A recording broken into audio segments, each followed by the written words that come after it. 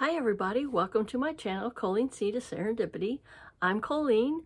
Welcome into my new viewers and welcome back to my Serendipity Subbies. Today is October 13th, 2022, and I would like to bring you this day in history. The cornerstone is laid for the presidential residence in the newly designated capital city of Washington, D.C. In the 1800, President John Adams became the first president to reside in the exclusive mansion, which soon became known as the White House because of its white-gray Virginia freestone contrasts starkly with the red brick of the nearby buildings. The city of Washington, D.C. Cre created was created to replace Philadelphia as the nation's capital because of the geological position in the center of the existing new republic. The states of Maryland and Virginia ceded land around the Potomac River to form the District of Columbia, and work began on Washington in 1791. French architect Charles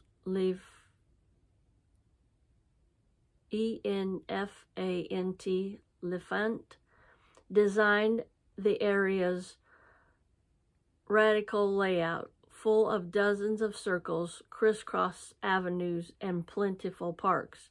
In 1792, work began on the neoclassic White House building at 1600 Pennsylvania Avenue, by a construction team comprised of enslaved and freed African Americans and Europeans and European immigrants, Irish American architect James Hoban oversaw the design and the, and President George Washington chose the site.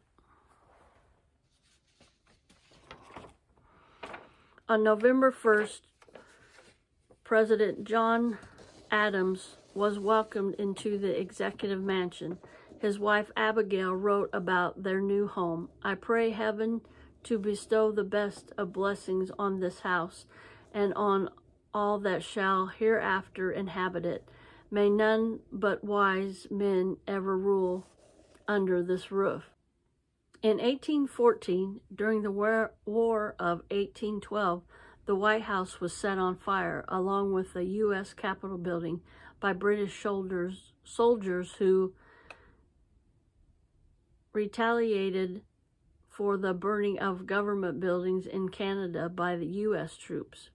The burned out building was subsequently rebuilt and enlarged under direction of James Hoban, who addressed east and west terraces to the main building who added east and west terraces to the main building, along with a semicircle south portico and a colonnade north portico. The smoke-stained stone walls were painted white. Worked with work was completed on the White House in the 1820s. Major restoration occurred during the administration of President Harry Truman, and Truman lived across the street for several years in the Blair House. Since 1995, Pennsylvania Avenue between the White House and Lafayette Square has been closed to vehicular traffic for security reasons. Today, more than a million tourists visit the White House annually. It is the oldest federal building in the nation's capital. I want to thank you for watching today, and I want you to stay safe and stay blessed.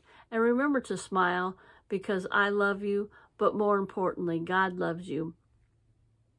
Now, I have a rant. I've been really noticing bad driving habits. I don't know if it's just here in my hometown or where, but uh, it's terrible. Today, a car pulled out in front of me. I was on my way to pick up my daughter from work, and there was clearly a stop sign. I know because that is where I work and I stop there every morning when I get off of work. There's no traffic coming, but I stop there.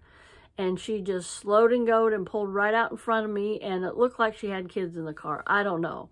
Another day I was going down the main thoroughfare in our town and it seemed like two vehicles were racing. They were weaving in and out of traffic and not using the turn signals, and it was terrible.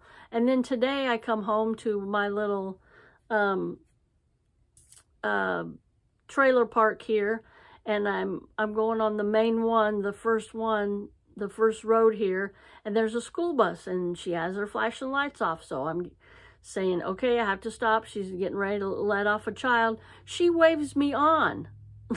and I'm like, okay, I know it's a state law. You have to stop for school buses. And then when I get by, I look in the rearview mirror, she puts the stop sign out. So I'm like, I hope she doesn't have me because I know they record on those buses. And I hope, I'm like, I hope she didn't record me saying, you know, I, she was waving me on. I, I had my brakes on and I was stopping. And I believe, did I, no, I didn't come to a complete stop, but she was waving me on. She, come on, come on, come on. And then when I did pass, she put the stop sign out. So I don't know. I just, I don't know if it's just me that I'm noticing more, uh, just illegal stuff.